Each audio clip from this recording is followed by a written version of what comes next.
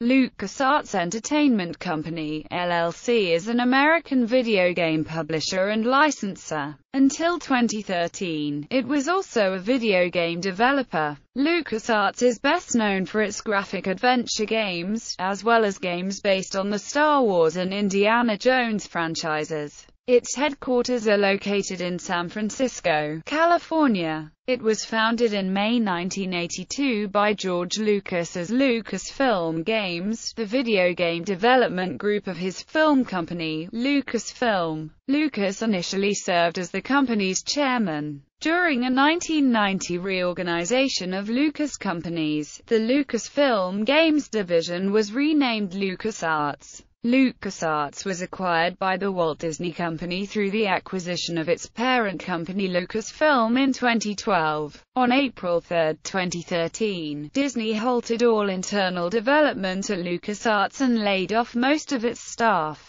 However, LucasArts remained open so that it could retain its function as a licensor. Development of games based on the Star Wars license will be performed by Electronic Arts, through an exclusive license, for the core gaming market. Disney Interactive Studios retained the ability to develop, and LucasArts retained the ability to license the franchise for the casual gaming market. Development of video games based upon other Lucasfilm properties will now be assumed by Disney Interactive Studios or licensed to third parties.